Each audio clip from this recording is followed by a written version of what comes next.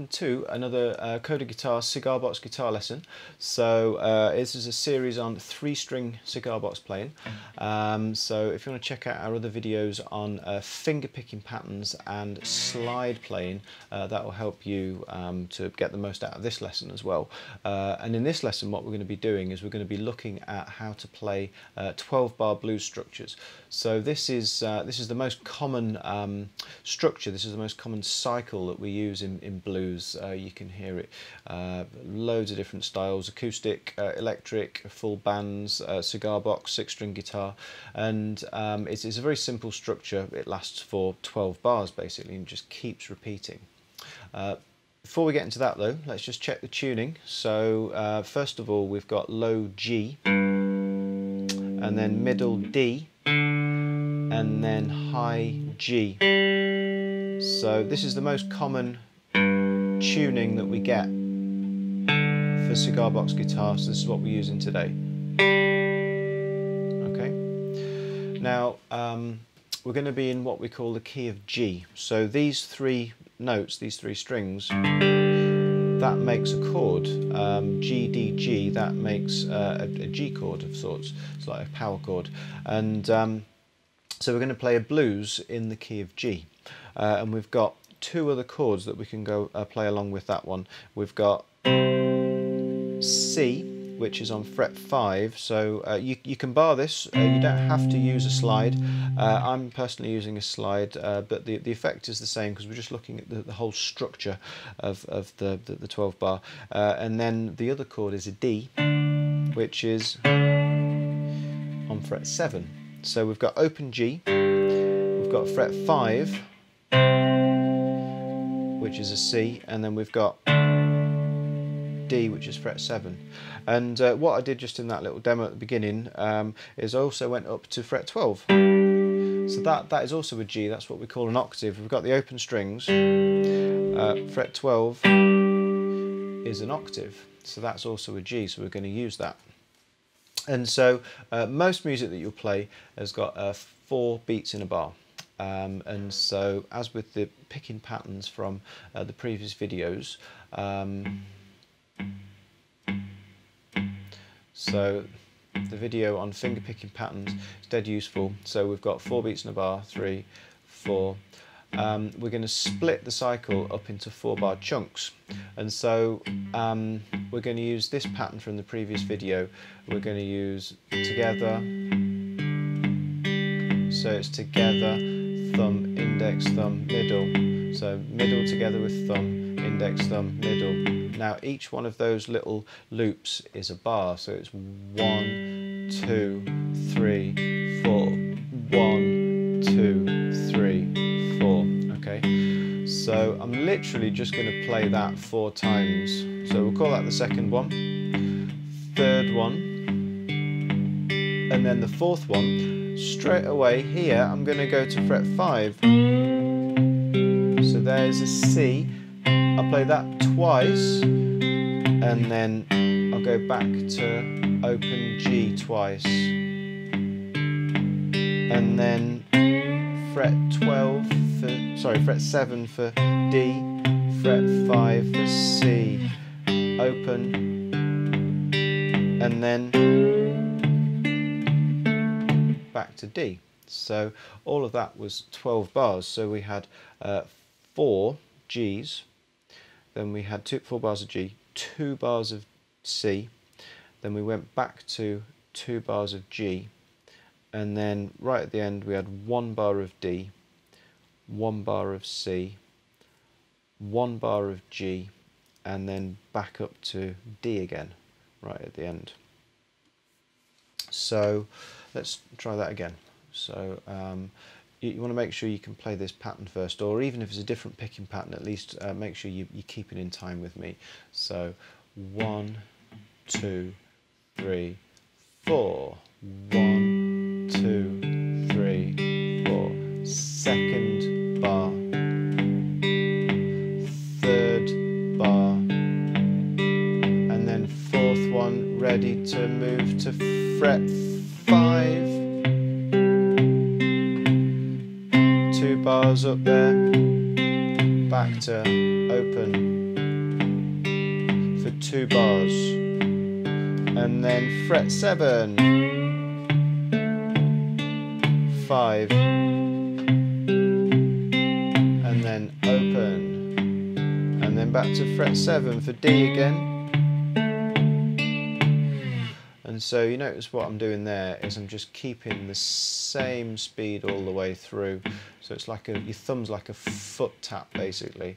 And if you do that and you can change in time, uh, however you're playing with your fingers or slides, then uh, you're just basically playing a 12 bar structure.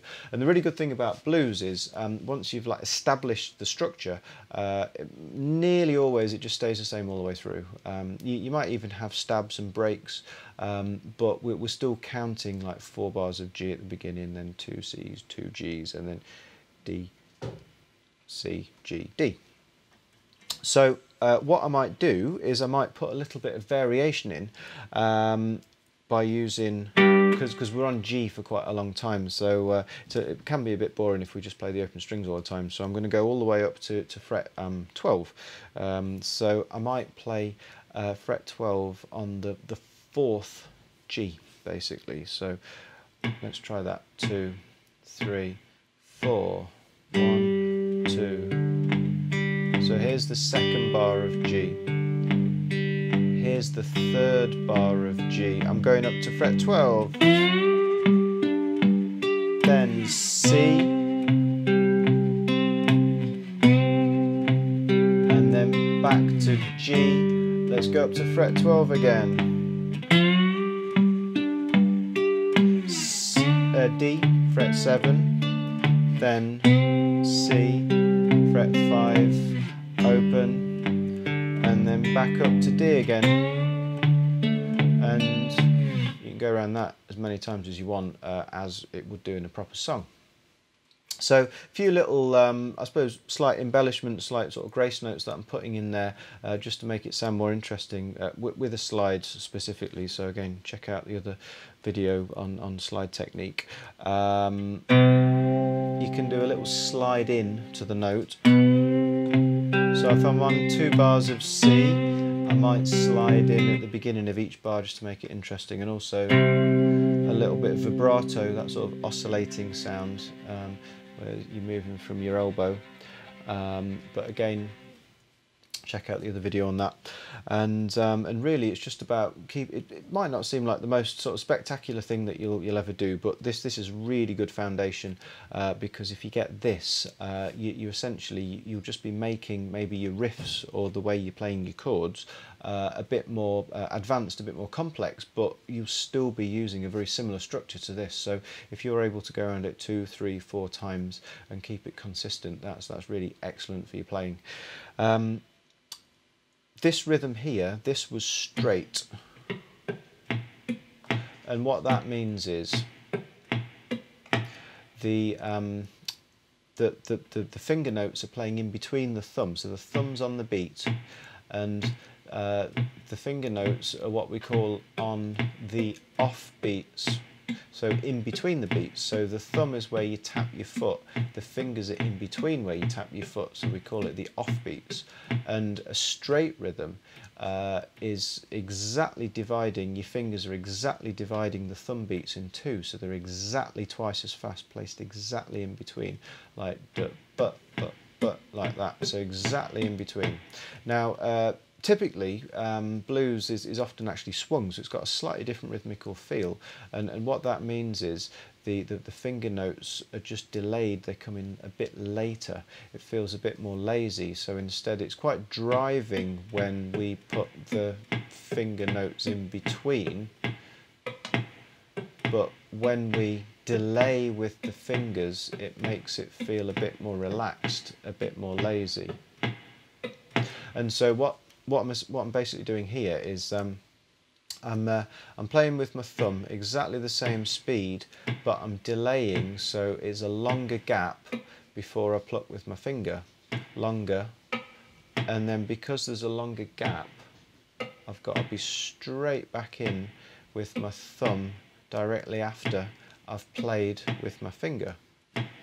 You see that? So it's thumb finger, thumb, and it feels like a very uneven rhythm. It's almost like if you imagine a sort of horse trot where it's just like swaying from side to side. So say if I applied that to that finger picking pattern, it might sound a bit like this. Uh, sorry, it's together at the beginning. I'm going a little bit slower here, but it's it's the finger notes in between that make it feel swung.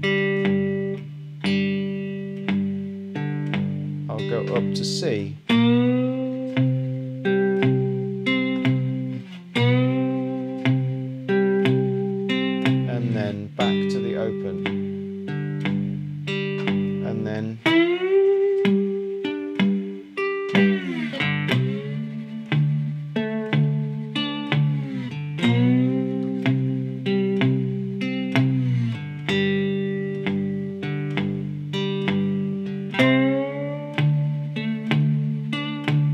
that's exactly the same as what I was doing previously, just with a swung rhythm. So if I just if I just try it one more time, a little bit faster. So one swung rhythm, two, three, four. So open,